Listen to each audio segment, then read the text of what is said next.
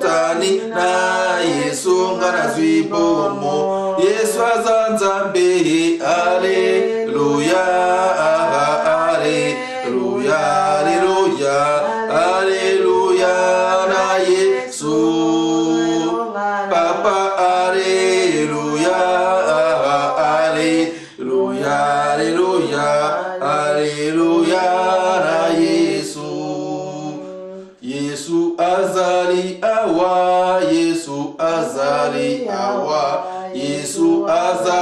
awa na biso.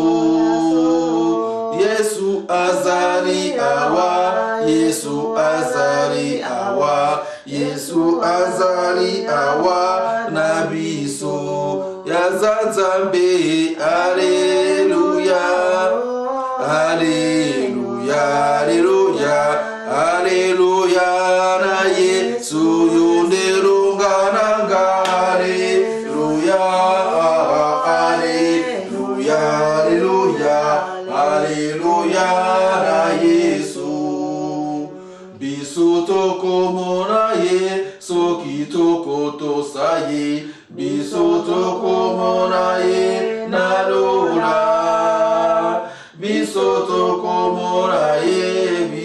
tokomona ye biso tokomona ye na lola yesu aza nzambe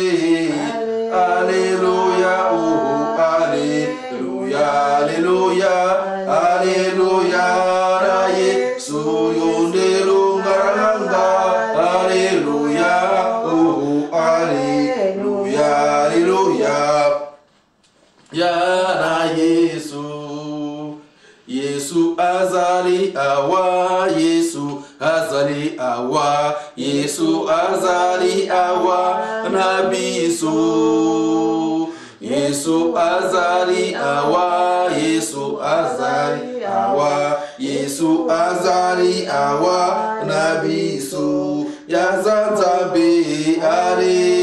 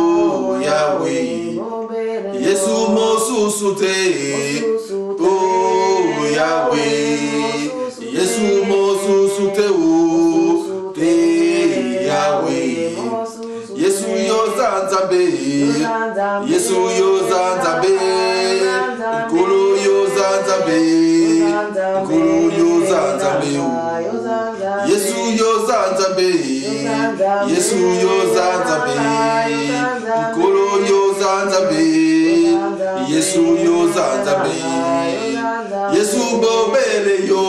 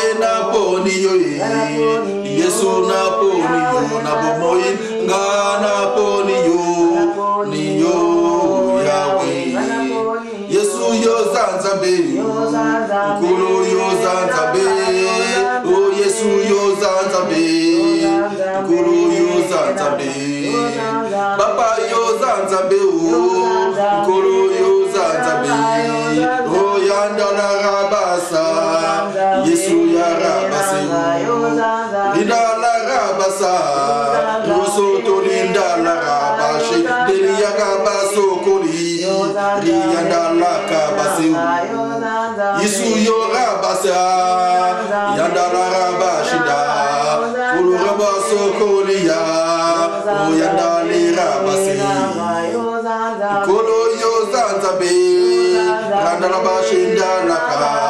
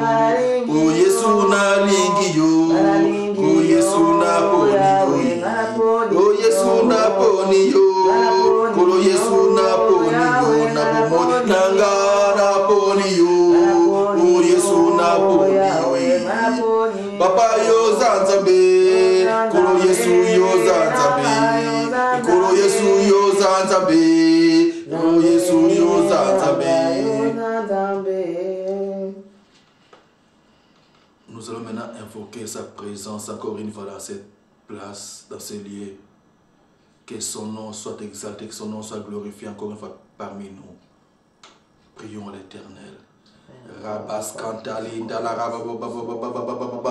Père, sois béni, sois glorifié, car tu es merveilleux, tu es redoutable, mon Dieu, mon roi. Yahweh, ni n'est comparable à toi, Père de gloire. Yahweh, tu as dit là où toi sont réunis à ton nom, tu es présent. Père, nous te bénissons, car tu es merveilleux. Raison de donner la gloire, la ce lieu, Yahweh. Père gloire, je bénis ta Je de nous. Je les anges qui nous surveillent et nous conduisent encore au milieu de nous, Papa. Nous sommes en adoration, ta gloire, la suite de nous, Papa. Sois béni, élevé, nous,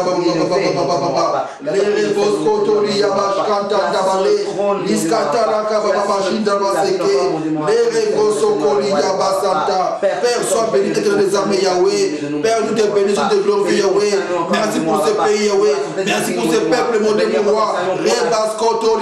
Baba Shindra Baba Seke Skoto Yataka Baba Père sois béni Nous élevons nos deux vers ton trône mon Dieu mon roi Toi qui décides ton trône éternellement mon Dieu mon roi toi qui es le juste et juge, mon Dieu, mon roi. Père, nous te bénissons. Père, toi qui viens pour la chose accomplie. Nous te glorifions, mon Dieu, mon roi. Père, toi qui n'abandonnes jamais tes enfants, mon Dieu, mon roi. Père, toi, toi qui as mis en nous ton esprit saint. Toi qui as mis en nous ton temple, mon Dieu, mon roi. Nous te bénissons, Yahweh. Merci pour la force, Yahweh. Merci pour le courage, l'amour, Yahweh? La paix que tu nous donnes, Yahweh. La paix que tu donnes à ton peuple, mon roi. Pardonne le monde, mon roi. Nous te bénissons. Car tu es merveilleux. Tu es redoutable, Yahweh. Tu es l'ancien des jours. Les commencements, la fin de toutes choses, mon toi. C'est toi le prince de la paix. C'est toi notre bouclier. C'est toi notre refuge, mon Dieu, mon roi. Nous te bénissons, Yahweh. Père, toi qui rentres, Yahweh, dans les lieux, Père de gloire, Yahweh, où il y a des problèmes et tu appelles la solution. Père, que ta solution puisse entrer, Yahweh, dans les demandes de tes enfants, mon Dieu, mon roi. Nous te bénissons, mon Dieu, mon roi. Que ta solution, Yahweh, puisse entrer, Yahweh, dans de tes enfants, mon Dieu, mon roi. Sois béni. Père, que leur vie soit transformée. Leur vie soit changée, Yahweh.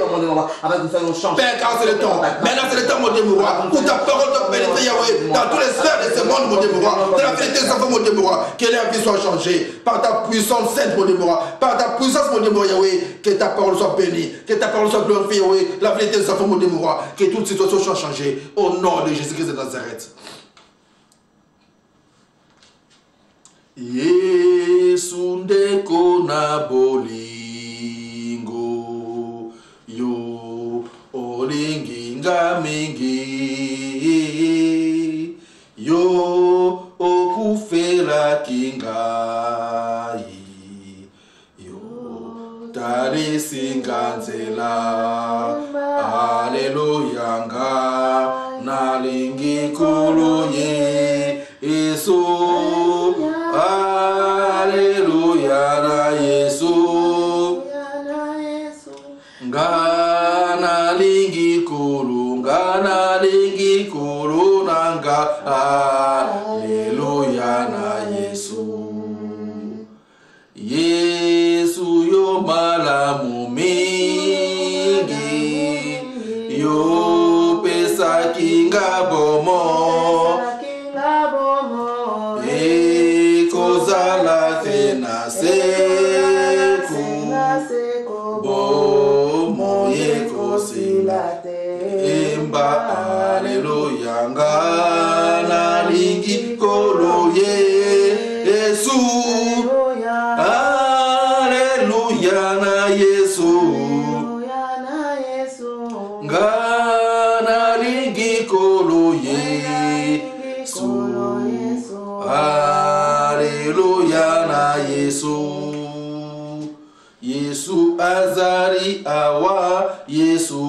azali awa yesu azali awa na biso yesu azali awa. Yesu azali awa ya solo aleluya aleluya aleluya aleluya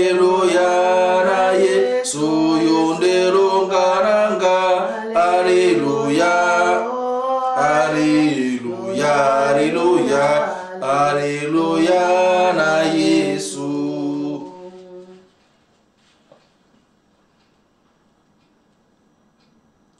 Dieu Tout-Puissant, quand mon cœur considéré tout l'univers créé par ton pouvoir, les ciels d'azur,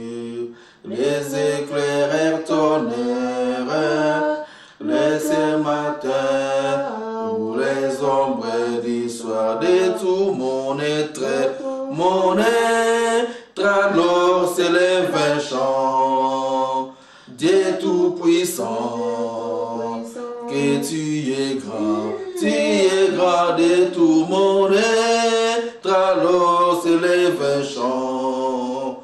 Dieu Tout-Puissant, que tu es grand. Glorifier encore sa présence dans ces lieux. Nous allons glorifier Dieu encore pour sa présence dans ce lieu. Prions l'éternel. Père, merci encore une fois pour ta présence, Yahweh. Nous te bénissons, nous bénissons la présence de l'excellence, son, son ton Esprit Saint. Père, que ton Esprit Saint puisse prendre l'absolu contrôle de toutes choses, Yahweh, qui peuvent arriver, qui peuvent passer dans ce lieu. Père de gloire, nous te bénissons, Yahweh, car tu as l'absolu contrôle de nos vies, mon Dieu, mon roi. Père, car tu as dit de par ta parole que tous les foulera les, plans de nos pieds, Yahweh, tu nous as donné. Père, nous te disons merci de nous avoir donné ce pays, ce monde, Yahweh, cette planète, Yahweh. Par ta parole puissante, mon Dieu, roi. Sois béni, éternel des amis, mon Dieu, roi. Car ta parole court avec vitesse, mon Dieu, roi. Que ta parole puisse guérir, Yahweh, toutes les personnes qui écoutent, Yahweh, la voix de ton Esprit Saint, mon Dieu, roi. Dans cet instant, nous te bénissons, éternel des armées, Yahweh. Toi qui es Ata Elroy, toi qui es d'Abraham, de Jacob, Yahweh. Toi qui es El Shaddai, Yahweh. Sois béni, mon Dieu. Sois béni, Yahweh. Que la guérison puisse entrer, Yahweh, de la vie des mon Dieu. Que la sagesse, la paix, Yahweh, puisse prendre l'absolu contrôle de la vie mon Dieu,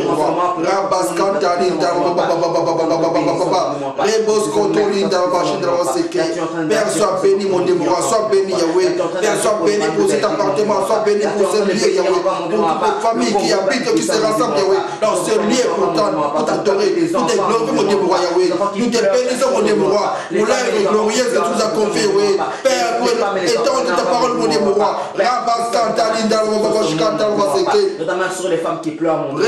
Rabascotoli, Yababa. Père, nous te bénissons, Yahweh. Père, que tes mains puissantes, Yahweh, puissent toucher, Yahweh, tes enfants, mon Dieu, roi. Que ta puissante, mon Dieu, Yahweh, Rabascotoli, Yataka, Père, sois béni, mon Dieu, roi. Toi qui touche, toi qui change le vie, mon Dieu, roi. Que les vies soient changées, mon Dieu, roi. Que les soient changées, Yahweh. Que la paix puisse entrer, Yahweh. Là où il y avait la détresse, Yahweh. Que la paix, que la victoire, Yahweh, puisse pénétrer, Yahweh. Là où il y avait des problèmes, mon roi. Que la solution puisse entrer, Yahweh. Au nom de Jésus. Au nom de Jésus, Yahweh. Que la solution puisse entrer maintenant dans cette demeure, Yahweh. Dans la cette personne, Yahweh. Qui nous écoute maintenant. Qui nous suit maintenant, Yahweh. Que ta solution puisse entrer dans sa vie, mon roi. Que sa vie soit changée. Au nom de Jésus. Au nom de Jésus. Car nous savons que le nom que tout ça a été donné. Le nom de Christ Jésus. Le nom à laquelle tu as dit que tout nous fléchisse, Yahweh. Dans les cieux, sur la terre et sur la terre, Yahweh. Et ta parole déclare que toute langue confesse que Jésus-Christ est Seigneur. Père, que Jésus soit Seigneur, Yahweh. La vie de cette personne, Yahweh. Rabas Kotolinda, Père, que la, sa vie soit changée. Que la vie de mon frère et ma soeur soit changée, Yahweh. Au nom de Jésus. Au nom de Jésus. Yahweh, Yahweh, Yosala. Yahweh, Sala, Lolenge na Yosala. Yahweh, Yahweh, Yahweh yo sala. Yahweh sala lo lengena, tosengi yo sala lo lengena yo e Yahweh, Yahweh yo sala. Yahweh sala lo lengena, Yesu yo sala lo lengena yo e Yahweh, Yahweh yo sala. Yahweh sala lolenge na Nzambe na biso aza kosala e Nzambe na biso aza kosala e Yahweh. Yobongi na lokumu yanga na yo ekosuka awa te yanga na yo ekosuka awa te yawe elonga na ngai yokumama yawe kuchana ngayo kumama yawe o makasi na ngayo kumama yawe nzambe na biso tobeleli yo kumama yawe eliki ya basantu tokumisi yo kumama yawe nzambe na nga tobeleli yo kumama yawe basantu tokumisi yokumama yawe kuma nzambe na biso yokumama yawe o nzamba basantu yokumama yawe papa ngai nabeleli yokumama yawe o nzambe na biso yokumama yawe tu vas dire maintenant que Dieu puisse se glorifier dans ta vie que dans toutes les situations de ta vie, que Dieu puisse se glorifier. Que ta vie soit changée, que le nom de Jésus-Christ soit glorifié dans ta vie. Prions l'éternel.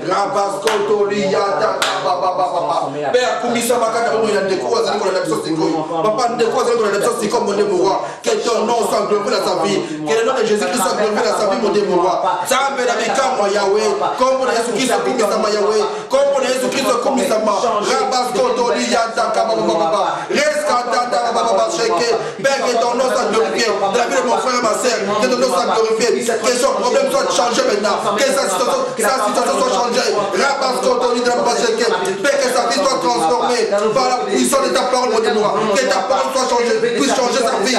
Sa vie soit changée. Au nom de Jésus. Au nom de Jésus. Père que ta puissance serve Yahweh puisse pénétrer Yahweh. Dans la vie de mon frère et ma soeur Yahweh qui me suivent maintenant que sa vie soit changée. Que la puissance de ta parole Yahweh puisse transformer sa vie. Que Rabababa oh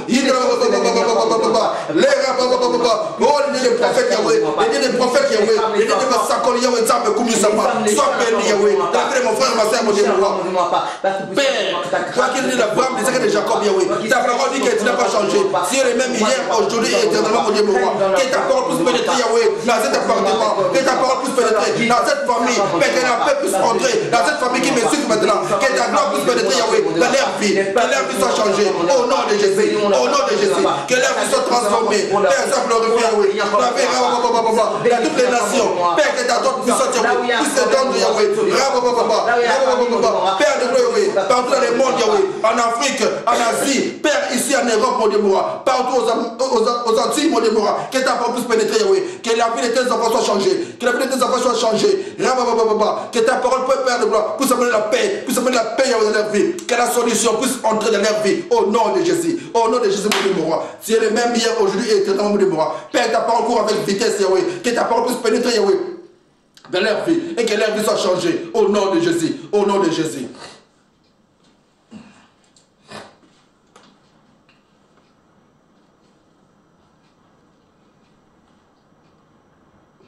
Les cieux proclament, les cieux proclament la gloire d'irrécité.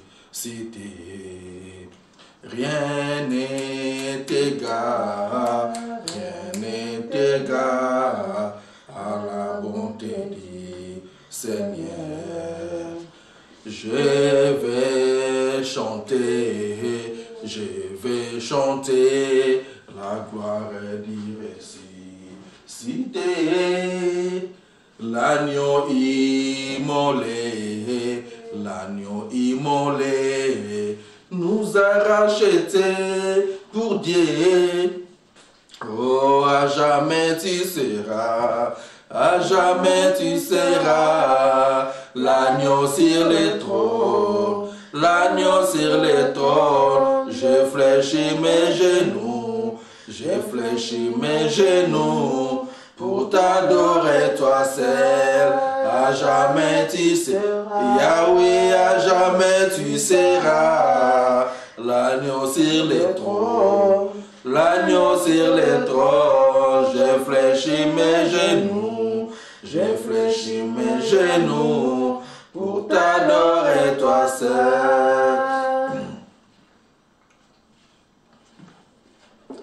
Nous disons gloire et louange à toi, Seigneur Jésus-Christ. Gloire et louange à toi, Seigneur Jésus-Christ. Amen. Amen.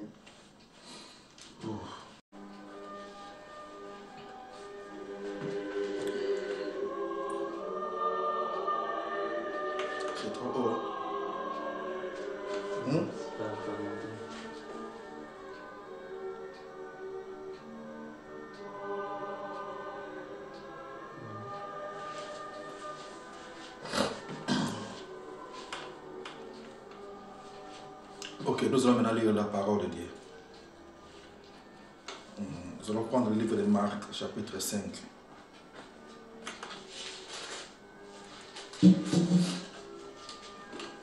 Ouvrons le livre de Marc, chapitre 5. Ok, on fait comme d'habitude, on va lire la parole et puis on va essayer un peu de développer ce qui est écrit là-dessus.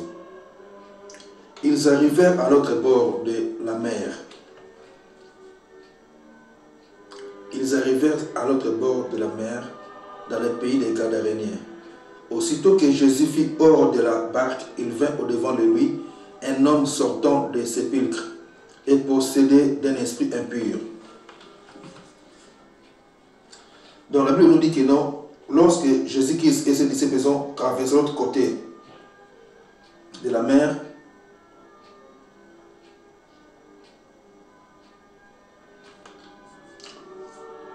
Aussitôt que Jésus fut hors de la barque, il vint au-devant de lui un homme sortant de sépulcre et possédé d'un esprit impur. C'est comme si quelqu'un qui sort du cimetière, comme j'ai souvent dit, euh, parce qu'on a déjà lu ça il y a quelques jours. Quelqu'un qui est sorti du cimetière, il est venu au-devant du Seigneur Jésus-Christ. Et la Bible nous dit que cet homme était possédé d'un d'un esprit impur. Cet homme avait sa demeure dans le sépulcre et personne ne pouvait plus les lier, même avec une chaîne. Donc personne ne pouvait plus lier encore cet homme, même avec une chaîne. Car souvent il avait eu les fers aux pieds et avait été lié des chaînes. Mais il avait rompu les chaînes et brisé les fers et personne n'avait la force de les dompter. Il était sans cesse nuit et jour dans le sépulcre et sur les montagnes criant et se avec des pierres. Ayant vu Jésus de loin, il accourut, se prosterna devant lui et s'écria d'une voix forte. Qu'y a-t-il entre moi et toi, Jésus, fils de Dieu? Très haut je t'en conjure, je t'en conjure, au nom de Dieu, ne me tourmente pas. Car Jésus lui disait, sors de cet homme, esprit impur. Et il lui demanda, quel est ton nom? Les gens et mon nom, lui répondit-il, car nous sommes plusieurs. Donc, qu'est-ce que je dis par là? Lorsque Jésus a traversé l'autre côté avec ses disciples, ils ont rencontré cet homme, un homme comme nous. Mais l'homme en question était possédé d'un esprit impur. Donc c'est pour dire que non, de même manière que non, nous, les chrétiens, nous avons en nous l'Esprit de Dieu. La Bible dit que nous sommes le temple du Saint-Esprit. Et par contre, il y a des personnes aussi dans ce monde dont l'ennemi, le diable, qui a envoyé ces démons par tout le monde pour chercher des personnes où ils n'ont pas en eux l'esprit de Jésus-Christ et que ces démons-là cherchent à habiter maintenant dans les corps de ces personnes. Et c'est ça qu'on appelle les démons. Donc euh, les, esprits impurs. Et quand les démons viennent dans la vie d'une personne, ils commencent à te pousser à faire des choses qui ne glorifiera pas Dieu. Il y a des choses que l'homme peut penser qu'il fait ça de lui-même. Il y a des choses que tu peux faire, tu penses que tu fais, tu fais de toi-même. Mais si tu as en toi l'esprit de Jésus-Christ, tu vas comprendre a des choses que tu fais, ce n'est pas normal, tu vas l'arrêter. Donc tu vas changer carrément ta vie. Mais si tu n'arrêtes pas, tu continues toujours à mener toujours ces mêmes vies qui ne glorifient pas Dieu, c'est que ce n'est plus toi-même qui conduis ta vie, c'est maintenant un esprit mauvais qui a pris possession de ton corps et qui te dirige. C'est ça l'esprit impur. Et ça pousse des personnes à faire des choses qu'on ne peut même ne pas expliquer. Comme, voir, comme maintenant l'histoire de cet homme. Il était devenu comme, on peut dire comme même un fou, comme on dit dans, ce monde, dans le monde aujourd'hui, comme un fou. Donc il n'habitait il n'habitait plus avec les personnes, il avait commencé maintenant à, habiter dans les cimetières. Donc parce que quand il habitait dans des maisons normales avec sa famille, avec tout le monde, quand il avait en lui quand l'homme était toujours attaché avec une chaîne, soit dans le pied, soit dans les bras, pour qu'il ne sorte pas. Parce que sa famille savait que non, comme il a la folie, comme il est devenu fou, comme il a des problèmes, il n'arrive plus à se contrôler, donc il peut faire des dégâts. Donc il faut que l'homme soit toujours attaché dans une chaîne pour qu'il reste à la maison. Maintenant, comme l'homme, il avait l'esprit maintenant en question, il l'avait rendu agressif. L'homme était devenu fort, très fort, plus fort même. Il, a, il à rompre, tous ces liens-là, toutes les chaînes-là qu'on attachait pour fuir, pour sortir. Et il avait maintenant commencé à habiter dans les cimetières. Maintenant, la Bible nous dit que quand l'homme il a vu Jésus-Christ, l'homme, il est venu Jésus-Christ. Alors, maintenant, qu'est-ce que je dis par là? Quand l'homme est venu se procéder devant Jésus-Christ, ce n'est pas l'homme à question, mais l'esprit qui conduisait maintenant l'homme, qui était venu se soumettre devant Jésus-Christ, qui était venu se procéder devant Jésus-Christ. Car la Bible dit que non, tout genou fléchira devant Jésus-Christ. Tout genou doit fléchir devant Christ. Que ce soit les, les Lucifer, que ce soit les ténèbres, ce soit tout dans les cieux, la terre et sous la terre. Tout le monde c'est procès devant le maître. Parce que Jésus-Christ est le maître. Il est le Dieu créateur de la terre. Il est maître partout dans le monde. Même chez le diable, ils reconnaissent en lui sa royauté, que c'est lui le créateur. C'est pour ça que le démon obéit seulement à son nom. Il n'obéissent pas à notre nom qu'au nom de Jésus-Christ. Donc maintenant, c'est l'esprit qui dirigeait cet homme-là. L'esprit mauvais. C'est ça qui avait vu Jésus-Christ. Et il a dirigé le corps de cet homme pour venir s'agenouiller devant le maître. Et demander Qu'y a-t-il entre toi et moi et moi? Qu'y a-t-il entre toi et nous? Parce qu'il avait dit à Christ, quand Jésus-Christ a dit que non, sors de cet homme esprit impire. Quel est ton nom? Il a dit que nous sommes plusieurs. Mon nom c'est Légion, car nous sommes plusieurs. Donc ils sont venus se poser devant Christ Jésus. Car il savait que non, il n'y a que lui qui peut nous chasser. Il n'y a que lui qu'on peut obéir.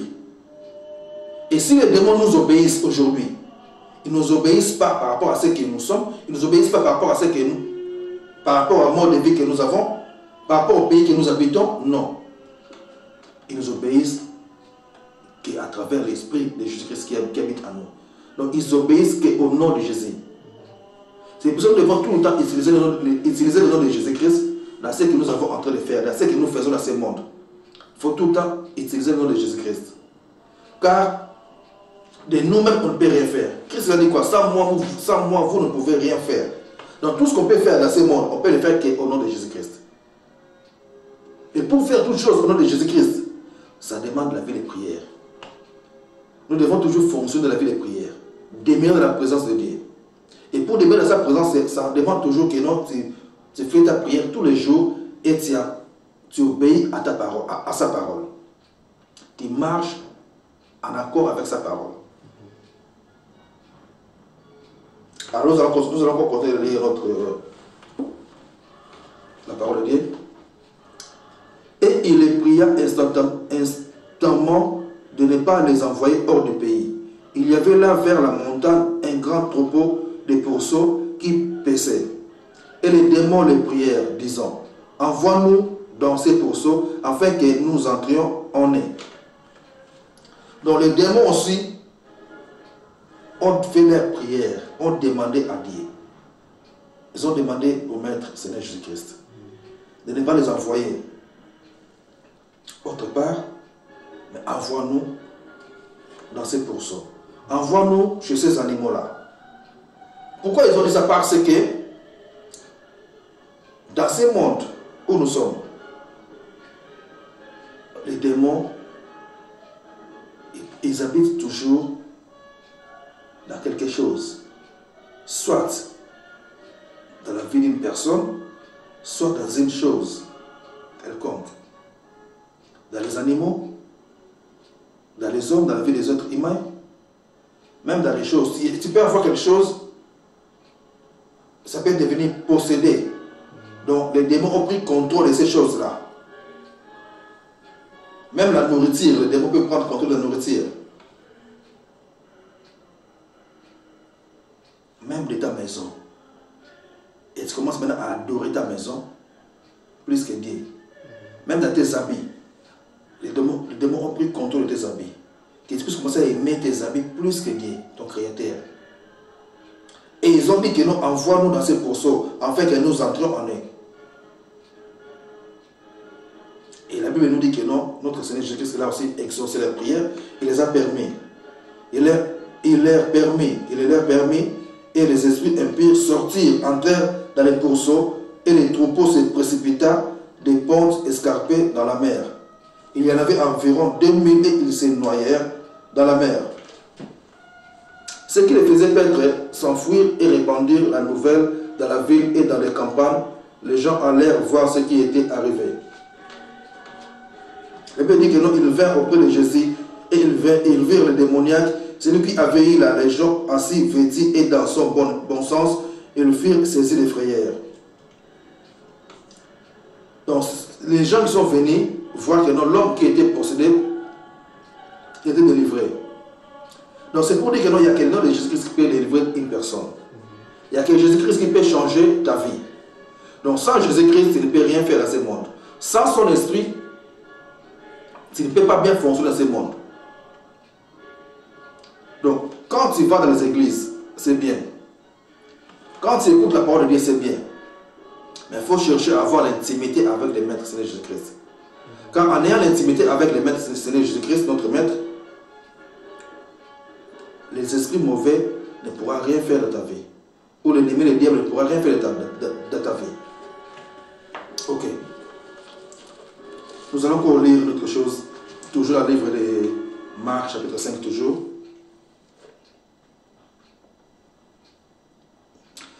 Maintenant, nous allons prendre à partir du verset 21. Jésus, dans la, dans la barque, regagna l'autre rive, où une grande foule s'assembla près de lui. Il était au bord de la mer. Alors vint un des chefs de la synagogue nommé Jairus, qui, ayant aperçu se jeta à ses pieds. Qui aperçu Jésus-Christ et vient se jeter au pied de Jésus-Christ. Et lui adressa cette instante prière. Donc Jairus, il a demandé à Jésus-Christ ceci. Il a dit, ma petite fille est à l'extrémité. Viens, impose-lui les mains afin qu'elle soit sauvée et qu'elle vive. Jésus s'en alla avec lui et une grande foule le suivait et le pressait. Donc Jairus est venu vers Jésus-Christ pour dire que ma fille est à l'extrémité, viens, impose-lui les mains afin qu'elle soit sauvée et qu'elle vive. Donc sa, sa fille était près de la mort. Sa fille était près de la mort et il est venu voir le maître Jésus-Christ. Il a dit lui-même à Jésus-Christ que non, viens chez moi, viens imposer à ma fille ta main, viens imposer la main à ma fille, afin qu'elle soit guérie, afin qu'elle vive. Et la Bible nous dit ceci. Pendant que maintenant Jairus et Jésus-Christ faisaient route, faisaient chemin pour aller chez Jairus, afin que, Jésus-Christ puisse imposer la main à sa fille, une grande foule est en train de suivre Jésus-Christ. Comme partout où Jésus-Christ passait, il y avait toujours la foule qui le suivait à cause de la présence de qui était en lui. Alors la Bible nous dit que non, il y avait une femme qui était atteinte d'une perte de sang pendant depuis 12 ans. Et la Bible nous dit que non, la femme, avait beaucoup souffert entre les mains de plusieurs médecins et elle avait dépensé tout ce qu'elle possédait et elle n'avait éprouvé aucun soulagement, mais était allée plutôt en empirant. Ayant entendu parler de Jésus, elle vint dans la foule par derrière et toucha son vêtement. Car elle disait, si je puis seulement toucher ses vêtements, je serai guérie. Au même instant, la perte de sang s'arrêta et elle sentit dans son corps qu'elle était guérie de son mal. Donc pendant que Jairus et Jésus-Christ allaient pour voir la fille de Jairus, la Bible nous dit qu'il y a une femme qui était aussi malade pendant 12 ans, elle avait perdu ça pendant 12 ans. Cette femme-là est venue, elle a juste touché les vêtements de Jésus-Christ. Et elle a été guérie. Elle a été guérie. Alors maintenant, comme Jésus-Christ avait senti en, lui que non, il y avait une force qui était sortie. Il y avait une force qui était sortie. Parce que l'onction, ça se conserve. La puissance, ça se conserve. Quand quelque chose ça se passe, vous sentez que non, il y a quelque chose qui est sorti de vous. Et Jésus-Christ a voulu savoir maintenant qui a touché mes vêtements? Qu'est-ce qui s'est passé? La Bible nous dit que non, la femme, elle est venue d'elle-même vers Christ et Jésus, vers le Maître, pour expliquer ce qui s'est passé. Que j'étais malade, j'avais des problèmes de, sang, pendant 12 ans de perte de sang, et c'est moi qui ai touché ton vêtement, et après je suis guéri. La Bible nous dit que non, Jésus-Christ a dit à cette femme, ta foi t'a sauvé. Que ta foi t'a sauvé. Mais pendant tout ce temps-là, pendant que euh, Jésus-Christ parlait avec cette femme, pendant que Jésus-Christ écoutait cette femme, je crois que Jairus, là où il était, parce que comme lui aussi, c'est lui qui était parti chercher le maître, pour que le maître puisse aller avec lui chez lui, afin de guérir sa fille. Soit Jairus pouvait se poser des questions que non, si on peut y aller, qu'est-ce qui se passe, pourquoi on va perdre du temps ici, tous ces genres de questions. Et pendant tout ce temps-là, toujours, pendant que Jésus-Christ parlait avec cette femme, la Bible nous dit aussi que non, il y a eu quelqu'un qui est venu pour annoncer à Jairus que tu vas arrêter d'importuner le maître, tu vas arrêter de déranger le maître parce que ta fille est déjà morte. Alors maintenant, écoutez ce, écoutez ce qui s'est passé. Arrêtez de déranger le maître parce que ta fille est déjà morte. Pendant que cet homme donnait à Jairus cette information, Jésus aussi l'écoutait. Mais il n'a pas tenu compte de ce que cet homme-là parlait. La Bible dit qu'il n'a pas tenu compte de ce que cet homme-là disait à Jairus. Jairus pouvait être fatigué. Parce qu'on est, déjà venu le dire que non, ta fille est déjà morte, donc il faut arrêter. C'est plus la peine. Mais le maître de Jésus-Christ, il a tourné vers Jairus pour dire que non, tu dois toujours croire. Il faut croire. Mais c'est ça maintenant le problème. Là où il y a tout, le problème maintenant où nous avons maintenant dans ce monde aujourd'hui. Quand, il, quand le maître nous dit qu'il faut croire, crois seulement, crois seulement. Tu seras sauvé, toi et ta famille. Croire. Mais là, la question, Jairus doit se poser, croire en quoi? En quoi il faut, il faut croire?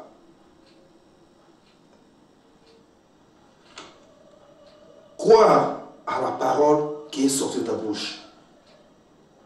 Que l'Esprit de Dieu t'a révélé, t'a donné. À la parole que t'a confessée.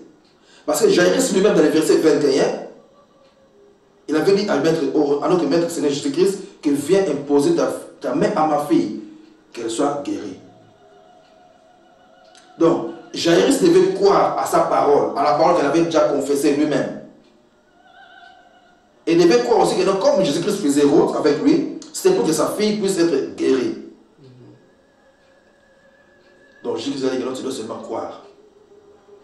Croire en quoi Donc, Tu dois croire en Dieu et croire à sa parole. Sa parole, c'est ce qui sort de ta bouche. Pourquoi sa parole, c'est ce qui sort de ta bouche? Parce que tu es l'enfant de Dieu. Tu es l'enfant de Dieu. La vie et la mort est dans nos bouches. Donc, ce qui sort de nos bouches, ça peut amener la vie. Ce qui sort de nos bouches, ça peut aussi amener la mort.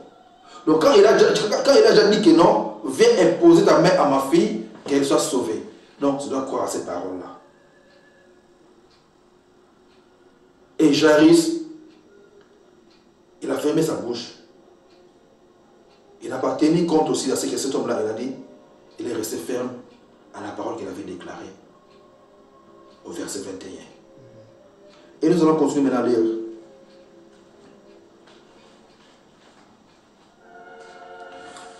Ok, verset 35. Comme il parlait encore sur de le chef de, la synagogue, des gens qui dirent, ta fille est morte, pourquoi importuner davantage le maître? Mais Jésus s'en tenait compte de ces paroles, dit au chef de la synagogue, ne crains pas, crois seulement. Crois seulement, ne crains pas, crois seulement. Parce qu'aujourd'hui, nous avons souvent l'habitude d'avoir la crainte, de craindre au problème, d'avoir peur au problème. Pourquoi ça m'arrive? Pourquoi ces choses? Pourquoi, pourquoi ça se passe comme ça? Est-ce que tu as déjà dit quelque chose? Ou si tu as déjà dit quelque chose, qu'est-ce que tu as déjà dit? Qu'est-ce qui est déjà sorti de ta bouche?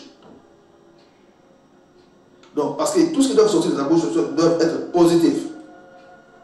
Parce que la vie et la mort est au pouvoir de ceux qui sont de nos bouches.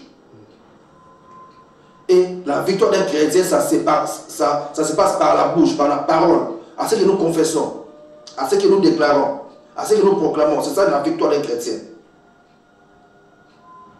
Donc nous devons croire que Jésus-Christ existe, que Jésus-Christ existe, et nous devons confesser, confesser sa parole. Nous devons croire que Jésus-Christ est notre maître, il est avec nous, car il dit que nous sommes les temples de son esprit. Car c'est à travers nous qu'il agit, à travers nous qu'il fait ses œuvres à travers, à travers nous qu'il accomplisse sa mission. Les miracles, ce n'est pas nous qui les, faisons, qui les faisons, c'est lui qui les fait à travers nous. C'est son esprit qui a mis en nous, qui, fait, qui opère les choses, qui opère les miracles. Et il est parti. Verset 37. Et il ne permet à personne de l'accompagner. Ça, c'est Jésus-Christ. Et il ne permet à personne de l'accompagner si ce n'est à Pierre, à Jacques et à Jean, frères de Jacques. Car Jésus-Christ, si je comprends il avait plus confiance à ces trois frères-là, parmi les autres. Pierre, Jacques et Jean. Pierre, Jacques et Jean. Parce que beaucoup des histoires de Christ, Jésus, tu verras que non, il y a Pierre, Jacques et Jean. Pierre, Jacques et Jean. Parce ils étaient les vrais soldats de la parole de Dieu. Les vrais soldats de son armée. Il a dit quoi? Il a dit que non, il n'est permis à personne, verset 27, 37 plutôt, verset 37, il n'est permis à personne de l'accompagner si ce n'est à Pierre, à Jacques et à Jean, frères de Jacques. Ils arrivèrent à la maison du chef de la synagogue où, Jésus vit une foule brillante et des gens qui pleuraient et poussaient des grands cris. Les gens, ils avaient déjà commencé leur matin ils avaient déjà commencé à, à pleurer sur l'enfant qui était déjà mort selon eux. La Bible dit dans le verset 39, il, encore il leur dit, pourquoi faites-vous des, des bruits et pourquoi pleurez-vous? L'enfant n'est pas mort, mais elle dort. L'enfant n'est pas mort, mais elle dort. L'enfant n'est pas mort, mais elle dort. Jésus, que cela dit quoi? La personne qui va croire en lui fera des choses que lui, il faisait fera des choses que lui il fait, et il fera aussi des plus grandes, parce que lui il est parti auprès du Père. Jésus-Christ est notre maître. Il a dit que l'enfant il dort. Donc nous aussi nous devons arriver à, dire des choses comme ça, que l'enfant dort, que ses frères là dorment, ses sœurs là dorment.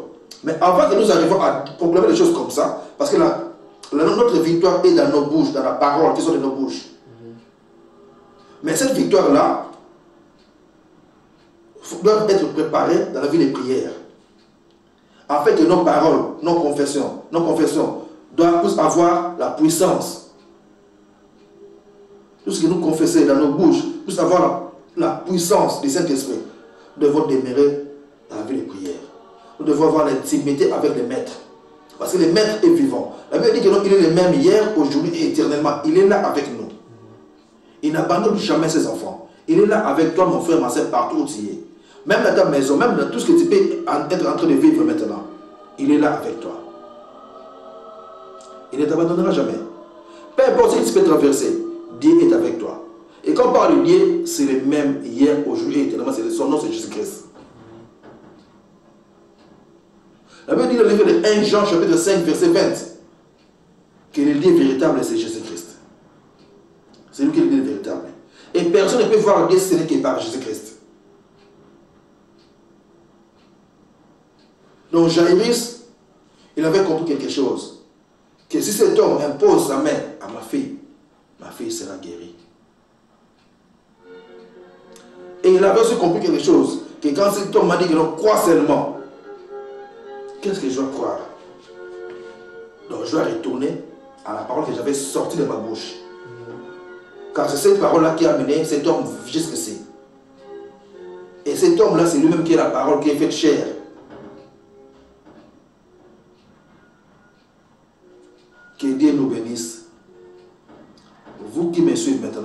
Que l'esprit du maître puisse prendre l'absolu contrôle de, vos vies. Que l'esprit du maître puisse prendre l'absolu contrôle de ta vie, mon frère, ma soeur. Que ta vie soit changée maintenant.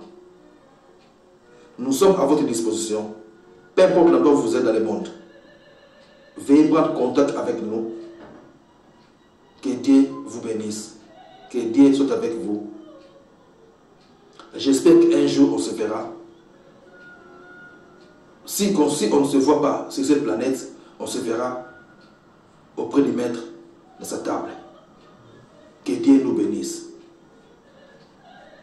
Gloire et louange à toi, Seigneur Jésus-Christ. Gloire et louange à toi, Seigneur Jésus-Christ. Amen. Amen.